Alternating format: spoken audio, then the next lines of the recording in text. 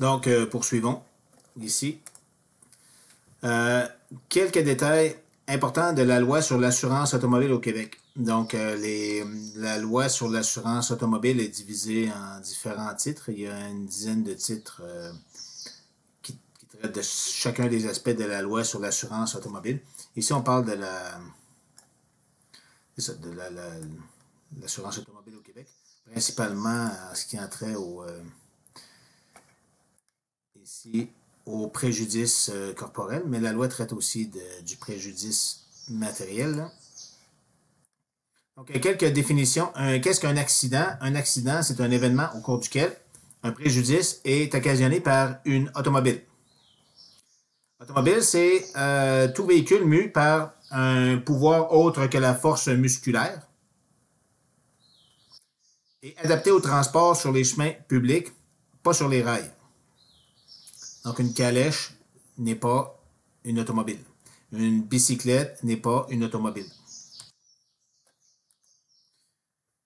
Un chargement, c'est un bien qui se trouve sur une, automobile. Et un chemin public, c'est la partie d'un terrain ou d'un ouvrage d'art destiné à la circulation publique des automobiles. Donc, un chemin public, une route, est un chemin public. Un stationnement de centre commercial est un chemin public. Qu'est-ce qui n'est pas un chemin public? C'est les parties d'un terrain ou d'un ouvrage d'art utilisé principalement pour la circulation de véhicules particuliers, comme par exemple, là, euh, des routes aménagées pour un tracteur de ferme, euh, des sentiers de motoneige, euh, ou n'importe quel autre véhicule destiné à être utilisé en dehors d'un chemin public, comme les, les petits véhicules tout-terrain à quatre roues. Donc, le gouvernement ici se charge de l'assurance des dommages corporels sur le tracé là où les automobiles devraient se trouver. Donc, si l'automobile se promène euh, euh, dans un champ, ben là, on n'est plus dans un, on n'est plus sur un chemin public, et là, certaines règles pourraient ne pas s'appliquer. Donc, si l'accident a lieu en dehors d'un chemin public, euh, ben là, l'assurance la, la, pourrait ne pas couvrir. Donc ici, c'est une question d'assurance en termes d'exclusion. Le gouvernement ne peut pas assurer les accidents automobiles, peu importe les circonstances. Donc, en, particulier, il y a les motos qui peuvent être utilisées en dehors des chemins publics dans des circonstances particulièrement dangereuses. Comme ce n'est pas tout le monde qui fait de la moto dans des sentiers, en, qui fait du motocross en sentier, ce serait pas équitable de demander à ce que tout le monde paie une prime d'assurance qui couvre aussi les blessures corporelles qui sont euh, qui, qui, surviennent lors d'utilisation de motocross dans des sentiers accidentés. Parce que dans l'utilisation de motocross dans des sentiers accidentés, peut générer beaucoup de blessures corporelles. Même chose pour la motoneige. La motoneige aussi, c'est un secteur d'activité où on peut voir beaucoup de, de blessures corporelles. Donc, les individus qui font de la motocross en sentier ou de la motoneige doivent se procurer une assurance supplémentaire pour ce faire. Donc, le gouvernement, lui, l'assurance publique obligatoire payée par tous, ben, couvre les accidents qui ont lieu sur les chemins pavés par le gouvernement ou pavés suivant certaines règles du gouvernement dans un lieu euh, public vérifiable euh, et là où les dommages peuvent être un peu mieux contrôlés. Qu'est-ce qu'un préjudice? Un préjudice euh, causé par une automobile, c'est un préjudice causé par l'utilisation de l'automobile euh, euh, ou par son chargement. Ne constitue pas un préjudice causé par une automobile. C'est lorsqu'un animal, le, le, le, préjudice causé par l'acte autonome d'un animal faisant partie du, du chargement. Donc, se faire mordre par un chien dans la boîte d'un pick-up, c'est pas un accident automobile. Le, préjudice causé à une personne ou en raison de, de, de, de l'entretien, réparation ou modification ou l'amélioration de l'automobile. Donc, je suis en train de réparer le silencieux de ma voiture. Je suis en dessous de la voiture. Euh, les blocs bougent, ça me tombe dessus, ça me blesse. Ce n'est pas un accident automobile. L'accident automobile, c'est un accident qui a lieu en lien avec l'utilisation de l'automobile. Le propriétaire de l'automobile, c'est la personne qui acquiert une automobile, qui la possède en vertu d'un titre de propriété. Donc, c'est l'automobile qui cause le dommage. Donc, l'assurance, c'est l'assurance de l'objet qu'est l'automobile et le détenteur de l'assurance est le propriétaire de l'automobile en premier lieu et non le conducteur. C'est l'automobile qui brise des choses. L'assurance, c'est l'assurance de l'objet automobile. Donc, l'assurance principale, c'est l'assurance du propriétaire de la voiture. Si l'assurance du propriétaire de la voiture est insuffisante pour indemniser un tel dommage, en deuxième lieu, on peut avoir le recours à l'assurance du conducteur de la voiture. Indemnisation du euh, préjudice corporel, mais ben, selon la section 2 du chapitre 1, cette indemnisation se fait sans égard à la responsabilité. La victime qui réside au Québec a droit d'être indemnisée que l'accident ait lieu au Québec ou à l'extérieur du Québec. Lorsque l'accident a lieu au Québec, est réputé résider au Québec le propriétaire, le conducteur ou le passager d'une automobile immatriculée au Québec. Donc, quiconque se trouve à l'intérieur d'une voiture immatriculée au Québec se trouve à l'intérieur d'un objet pour lequel les primes d'assurance à la Société d'assurance automobile du Québec ont été payées par l'entremise des droits d'immatriculation. Donc, à l'intérieur d'une voiture immatriculée au Québec, n'importe qui peut être indemnisé par le SAAQ. Sauf qu'un individu qui part des États-Unis, traverse la frontière, entre au Québec avec sa voiture immatriculée aux États-Unis et son permis de conduire payé aux États-Unis, ben, n'a pas payé les primes d'assurance de la Société d'assurance automobile du Québec et donc n'est pas directement couvert par le régime public euh, d'assurance corporelle au Québec. Si cette personne-là est responsable d'un accident, elle ne sera pas indemnisée pour ses dommages corporels. Mais si elle n'est pas responsable de l'accident, alors elle sera indemnisée.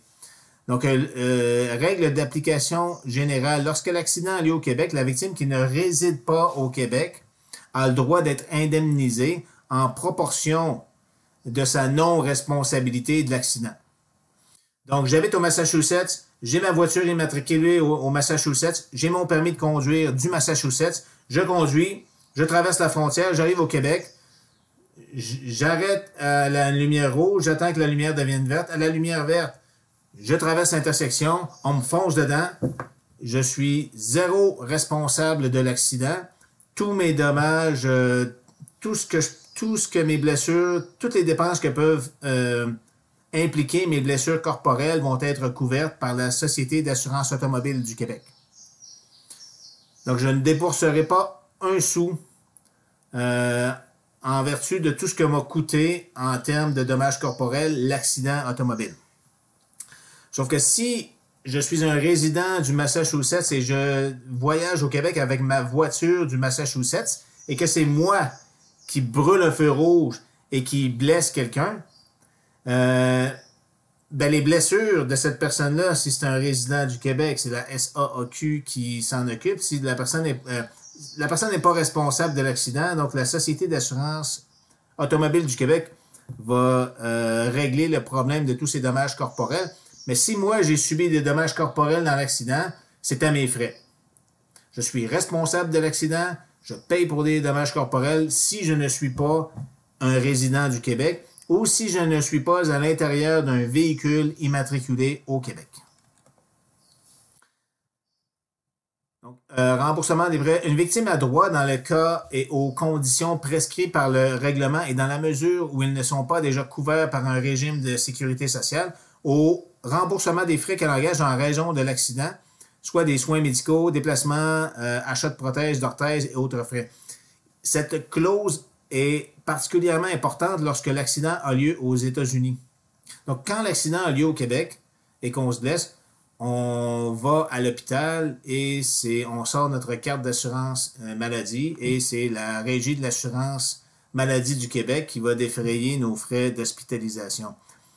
Le régime d'assurance automobile du Québec pour un Québécois vient couvrir les frais au-delà de ce que de, de ce qu'on ne paie pas par l'entremise du régime public d'assurance hospitalisation. Donc, si on a besoin d'aide à la maison, si on a une perte de revenus, si on a besoin d'achat d'équipements particuliers parce que maintenant on est blessé. Si l'accident a lieu aux États-Unis, le régime d'assurance maladie du Québec ici peut couvrir une partie des frais euh, d'hospitalisation ou de soins de santé aux États-Unis, mais les limites imposées par la RAMQ sont euh, ridiculement basses. Ça n'a rien à voir avec euh, les coûts réels qu'on peut avoir à défrayer lorsqu'on est hospitalisé aux États-Unis. Dans ce cas-là, la Société d'assurance automobile du Québec, si les blessures corporelles sont découlent d'un accident en automobile, va couvrir la différence de ce que euh, entre ce que ça coûte réellement et ce que la RAMQ euh, accepte de payer. Donc, la loi sur l'assurance automobile, euh, voilà, ainsi les indemnités en lien avec les blessures corporelles. donc, troisième point, la loi doit cependant préciser la façon dont les frais médicaux et hospitaliers sont indemnisés lorsque le résident du Québec est impliqué dans un accident hors Québec. Et ici, ce qui est écrit en rouge et bleu, si l'accident a lieu à l'extérieur du Canada, les frais médicaux hospitaliers d'urgence sont, couverts par la RAMQ jusqu'à des limites qui n'ont rien à voir avec les coûts réels et la SAAQ couvre la différence. Donc ici, un résumé de ce qu'on vient de voir, mais je poursuis.